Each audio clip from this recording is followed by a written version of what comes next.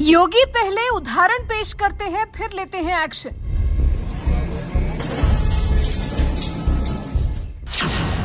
पहले की अपने घर की सफ़ाई, अब बारी अखिलेश की. योगी जो भी करते हैं, डंके की चोट पर करते हैं.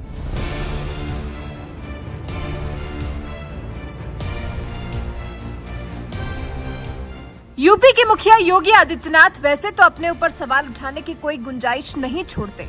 लेकिन विपक्ष का काम क्योंकि सवाल उठाना ही है तो बिना आधार के भी विपक्ष मौका ढूंढ ही लेता है। अब इस बार देखते हैं कि विपक्ष किस तरह से योगी को अपने निशाने पर लेता है, क्योंकि अब योगी करने जा रहे हैं। अखिलेश के घर की सफ़ाई। जी हाँ अब सैफई में बुलडोजर चलने वाला है। अब सैफई के माफियाओं का घमंड टूटने वाला है। अब सैफई में अवैध अतिक्रमण पर बुलडोजर चलाने की कार्रवाई की जा रही है। सपा अध्यक्ष अखिलेश यादव के गाँव सैफई में योगी का बुलडोजर चलेगा तो तकलीफ़ तो होगी ही। अखिलेश को भी और उनके घर वालों को भी। दरअसल अवैध अतिक्रमण को लेकर इटावा के प्रांतीय खंड लोक निर्माण विभाग ने सैफई इटावा रोड पर बने मकानों, दुकानों पर लाल निशान लगाकर अगले कुछ दिन में उन पर बुलडोजर चलाकर अतिक्रमण गिराने की तैयारी कर ली है। कहा तो ये भी जा रहा है कि इसकी जद में सपा महासचिव राम गोपाल यादव और तेज प्रताप यादव भी आएँगे। दरअसल, सैफई में पीडब्ल्यूडी विभाग ने दुमिला बॉर्डर से इटावा शहर के आईटीआई तक सड़क के दोनों तरफ़ आने वाले अतिक्रमण को मार्क कर दिया है। टीम ने सैफई से हवरा तक लाल निशान से मार्किंग कर ली है। पीडब्ल्यूडी प्रांतीय खंड की तीन टीमें इस काम में लगी थी, लेकिन अब जब राजनीतिक दबाव बढ़ा है तो और लोगों का आक्रोश भी दिनों दिन बढ़ता चला जा रहा है। तो सर्वे का काम फ़िलहाल तो बंद कर दिया गया है, लेकिन सूत्र ये कह रहे हैं कि सोमवार से फिर एक बार प्रक्रिया शुरू की जाएगी। विभागीय अधिकारी मामले में कुछ भी बोलने से बचते दिखाई दे रहे हैं, लेकिन माना यह जा रहा है कि एक हफ़्ते में प्रशासन ने किसी भी तरह से अतिक्रमण को गिराने के आदेश दे दिए हैं। मतलब वक्त सिर्फ़ एक ही हफ़्ते का है जब सैफई में अतिक्रमण गिराने का काम पीडब्ल्यूडी विभाग को पूरा कर लेना है। फ़िलहाल विभाग ने अट्ठावन आवासीय संपत्तियों के अलावा 106 संपत्तियों को मार्क किया है जो अतिक्रमण की जद में हैं। इन संपत्तियों पर दो से पाँच मीटर तक के निशान लगाए गए हैं दिलचस्प बात यह है कि इस अतिक्रमण की रेंज में समाजवादी पार्टी के राष्ट्रीय महासचिव प्रोफेसर राम गोपाल यादव के आवास की एक दीवार भी आ रही है। और साथ ही पूर्व मैनपुरी सांसद तेज प्रताप यादव का भी एक प्लॉट आ रहा है। इसके अलावा उनके कुछ और करीबियों के बाज़ार और दुकानें भी चिन्हित कर ली गई हैं। एक डिग्री कॉलेज, जिला पंचायत का इंटर कॉलेज, सैफई थाने की दीवार और कुछ एक सरकारी भवन भी अतिक्रमण की रेंज में है, जिनको गिराया जाना है। निश्चित तौर पर इससे समाजवादी पार्टी से जुड़े नेताओं की मुश्किलें बढ़ती दिख रही हैं। योगी ने कहा है तो कार्रवाई होगी और कार्रवाई होगी तो फिर हंगामा भी होगा। ऐसे में लोक निर्माण विभाग के अधिकारी ने बताया, फ़िलहाल ज़मीन को मार्क किया जा रहा है। इस मार्किंग में जो भी अतिक्रमण आ रहा है, उस पर निशान लगाए जा रहे हैं। हम चाहते हैं कि जनता का कम से कम नुकसान हो, इसलिए विभाग अन्य विभागों से राय लेकर क्रॉस एग्जामिन कराएगा। पीडब्ल्यूडी अधिकारी ने कहा कि शासन से साफ़ निर्देश है कि जो भी अतिक्रमण है, उसे तुरंत खत्म किया जाए। ऐसे में सर्वे रिपोर्ट को राजस्व विभाग के पास भेजा जाएगा, जिसके बाद बुलडोजर चलाकर अवैध अतिक्रमण को गिराया जाएगा। योगी की इस कार्रवाई से अखिलेश चाहे तो नाराज़ हो सकते हैं, लेकिन नाराज़ होने की कोई बात नहीं है। पूरे यूपी में अवैध अतिक्रमण हटाने की कार्रवाई की जा रही है। माफियाओं की संपत्ति को लगातार सीज करने की कार्रवाई हो रही है। अभी योगी ने हाल ही में अपने गृह जनपद में पनप रहे माफियाओं के मंसूबों को ध्वस्त किया है। गोरखपुर सदर और सहजनवा क्षेत्र में माफिया सुधीर सिंह के दो मकान और ज़मीन को जब्त किया। सुधीर सिंह की फॉर्चुनर गाड़ी और फैक्ट्री को भी प्रशासन ने अपने कब्जे में ले लिया। इसके अलावा अपने दूसरे कार्यकाल में योगी पिछले दो महीनों में सिर्फ़ गोरखपुर से 12 करोड़ की संपत्ति को जब्त कर चुके हैं। योगी ने तय कर लिया है कि न तो माफियाओं के अवैध धंधों से कमाई संपत्ति प्रदेश में बचेगी और न ही कोई अवैध अतिक्रमण।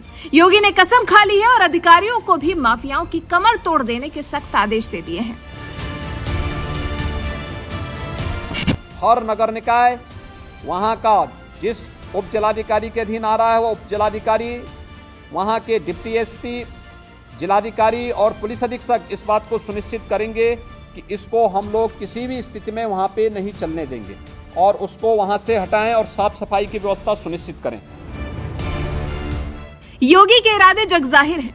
योगी कोई भी काम छिपकर नहीं, बल्कि डंके की चोट पर करते हैं। और उनको फ़र्क भी नहीं पड़ता कि इसके लिए कौन उनके बारे में क्या सोचेगा। योगी ने ठान लिया है कि प्रदेश की जनता ने फिर एक बार उन पर भरोसा जताकर उनके हाथों में प्रदेश की कमान सौंपी है। तो योगी भी इस सम्मान के बदले में यूपी को ऊंचाइयों पर पहुंचाकर ही दम लेंगे, जिसके लिए सबसे पहले तो योगी प्रदेश को साफ़ करने की कार्रवाई में जुटे हुए हैं। अब इस कार्रवाई में अगर सपा महासचिव रामगोपाल यादव और तेज प्रताप यादव भी आ रहे हैं तो योगी उनको बचाने के लिए कुछ नहीं कर सकते। अब अवैध अतिक्रमण पर बुलडोजर चलेगा तो मतलब चलेगा। अब इस कार्रवाई को रोका नहीं जा सकता। पीडब्ल्यूडी विभाग को एक हफ़्ते के अंदर अंदर ये काम खत्म कर लेने की ज़िम्मेदारी सौंपी गई है। वैसे अब जब अखिलेश के अपने ही घर में योगी बुलडोजर लेकर पहुँच गए हैं तो इस पर अखिलेश की ज़बरदस्त प्रतिक्रिया देखने को मिलने वाली है। अभी शुक्रवार को ही बुलडोजर चलाए गए अवैध मकानों का वीडियो साझा करते हुए अखिलेश ने लिखा था, यह है 2022 तक सबको घर देने का झूठा वादा करने वाली भाजपा का सच। आंसुओं का मोल समझने के लिए एक संवेदनशील हृदय चाहिए होता है जो भाजपा सरकार में नहीं है। संस्कृति का झूठा स्वांग रचने वाले जान ले कि हमारी संस्कृति में तो चिड़ियों के घोंसले भी नहीं तोड़े जाते हैं। इसके बाद जब अखिलेश के अपने गाँव में योगी का बुलडोजर चलेगा, अवैध अतिक्रमण को बुलडोजर के ज़रिए हटाया जाएगा, जिसमें राम गोपाल यादव की भी एक दीवार और तेज प्रताप यादव का भी एक प्लॉट आ रहा है तो इस पर अखिलेश का बौखलाना लाजमी ही होगा। खैर, देखते हैं जब बुलडोजर चलेगा, तब क्या होगा। फ़िलहाल आप हमें बताएँ कि आप योगी के एक्शन से कितने संतुष्ट हैं और अखिलेश की समय समय पर योगी सरकार की अवैध अतिक्रमण पर की जा रही प्रतिक्रिया पर आप क्या कहना चाहेंगे? इस पर आपके विचार हमें कमेंट कर। ज़रूर बताएँ।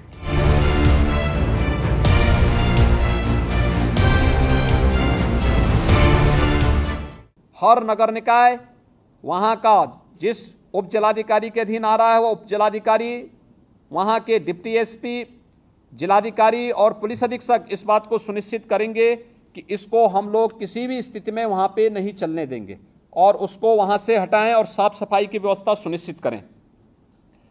आईटीएमएस सत्रह के सत्रह नगर निकाय, जो नगर निगम हमारे हैं, इसमें आईटीएमएस दस में स्मार्ट सिटी मिशन के अंतर्गत या तो बन चुका है या बन रहा है। से सात में राज्य सरकार, राज्य शासन की ओर से, नगर विकास की ओर से आईटीएमएस बनना है। आईटीएमएस को सेफ़ सिटी के साथ जोड़ना, गृह विभाग के साथ जोड़ना और सभी नगर, सत्रह के सत्रह नगर निगमों के साथ साथ नोएडा, ग्रेटर नोएडा में भी हम इसको सुनिश्चित करवा लें। कि इसको हम सेफ़ सिटी के साथ जोड़ेंगे और सेफ़ सिटी मिशन के अंतर्गत हम इस कार्यक्रम को आगे बढ़ाएँगे। हम जो सिटी के अंदर होर्डिंग लगाते हैं, बेतरतीब होर्डिंग बंद करवाइए।